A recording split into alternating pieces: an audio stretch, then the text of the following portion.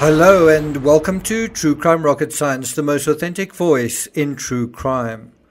What is the fate of Kiely Rodni's phone? Has her phone been located?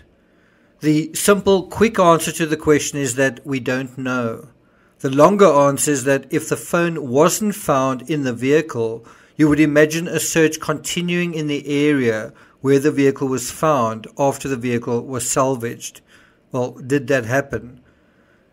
Consider the possibilities where the vehicle is in water for two weeks, upside down, windows are broken, and the vehicle, heavy and filled with water, is subsequently turned right side up, floated to the surface, and hauled backwards to shore.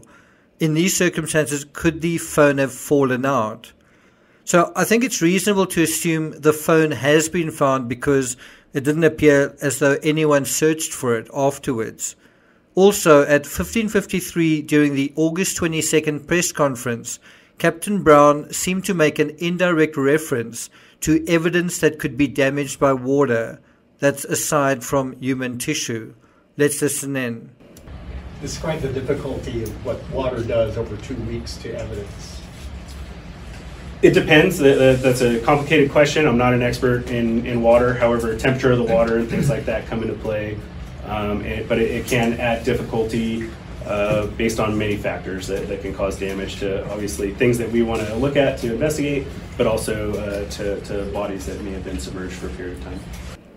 In this episode, I want to reimagine the fate of Kiely's phone from three different perspectives. Before we get to that, if you haven't subscribed to the channel, please do. Like, share, leave a comment. Many thanks to the hundreds of you who have subscribed. Welcome to the channel. And let's get started. So, three perspectives. In this scenario sketch, we'll assume the simplest explanation is true, which is that Kiely was intoxicated, she took a wrong turn, and the poor girl plunged into the reservoir by accident. So, the first scenario we're going to look at is the phone is simply in her pocket. Did Kiely have her phone in her jeans pocket or on the seat or the console beside her? Or was she charging it? I think it's unlikely she would have the phone in her pocket, as she likely does in this last photo. I do think the moment the vehicle hit the water, the Honda's electronics would fail, causing the headlights to go out as well as the electronics the dashboard lights would go blank as well. In other words, the first issue Kiely would have been faced with was seeing in the dark. If the vehicle's electronics were knocked out immediately upon hitting the water, the cell phone would have been relatively protected by the driver's capsule. In other words, the cell phone would have been able to provide emergency lighting. So it makes sense that the first thing Kiely would do um, is try to find her phone in the dark. Does that make sense? That brings us to the second perspective the phone as a lighting tool. Obviously, if Kiely needed a lighting tool and if she was driving with her phone in her hand, then there would be no need to search for the phone in the dark. But I'm guessing she wasn't, and that for several crucial seconds, Kiely had to rummage at her feet or under the seats in the dark to find her phone. Remember, with that impact, wherever the phone was, it may have jumped forward um, or jumped to the side slightly. So, did she rummage around? Did she find it? If she did, she would have been faced with the next dilemma how to escape. She would have realized, oh, I see where I am, but how do I escape? And at this point, the Honda would probably still have been floating with a few critical seconds remaining before it filled with water and sank under the water. One option was to use her torch as a hammer and literally smash the window with the hard corner of her phone, but that would mean losing the precious light she needed. Another option was to try to bang out the window with her feet or fist or push open the door. But remember, Kiely was a slight 16 year old. If she did manage to break a window, it probably took a while.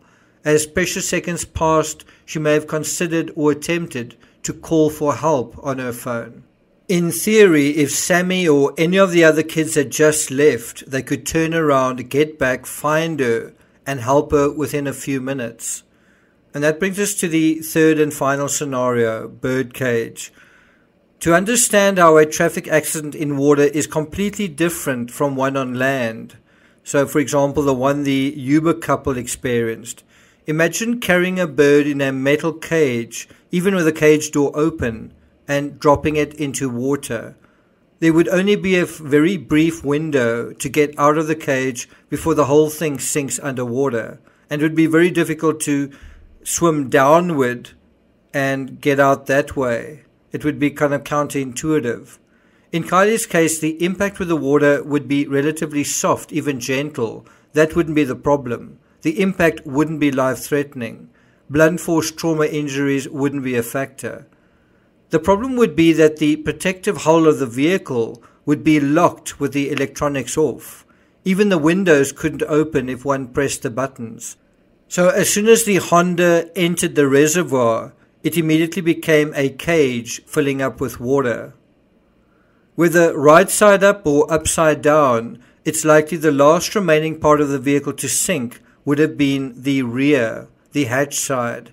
This is because the engine at the front is heavier and gravity and the weight of water drew it down. So the air pocket would move then to the other end where the hatch was. And likely Kiely would too. She would follow this air pocket. Even if she succeeded in breaking a window near the front where she was sitting, while the vehicle was still above water or even semi submerged, she would nevertheless probably abandon that point to follow the air pocket. But once the vehicle dropped below the surface and water poured in, she likely tried to get away from the source of the water and stay in the air pocket and then find another place to try and exit the vehicle. This scenario is depicted in the movie The Abyss, except the vehicle is a submersible that begins to leak. I've heard some speculations that if Kiely wasn't found in the driver's seat, this would indicate foul play. But I don't see that at all. I think the opposite is true. If she was found still strapped in, seatbelt fastened, it would indicate foul play, because any normal person given that window of time would move around and try to escape. A vehicle has a protective function in an accident. The metal layers, the columns, the airbags are all meant to protect the driver from physical injury. But in scenarios of water or fire, a vehicle becomes a metal trap.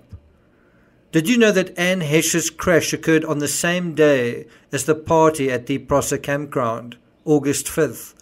Heche was driving in broad daylight at 11 a.m. and she was involved in three separate collisions. In the third, rather than driving into a reservoir, 53 year old Heche crashed at speed into a house in Mar Vista, causing her vehicle to burst into flames. In that incident, Heche had to be rescued from the rear because the flames had consumed the front of her vehicle. On paper, and unless you'd seen video footage, you might not believe Heche could drive into a house or that her driving into a house was voluntary or even an accident. But because we know she was intoxicated and because we have video and photos, it's believable, if shocking all the same.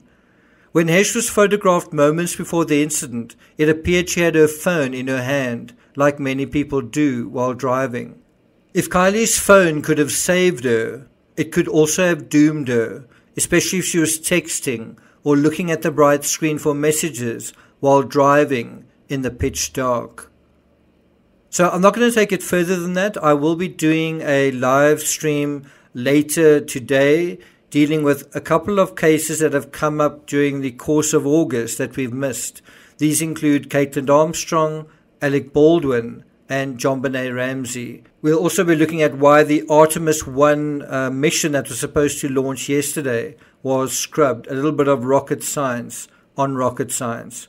So look out for that. I'll put a link to that live stream video in the description. Thank you for listening, and I'll see you guys next time.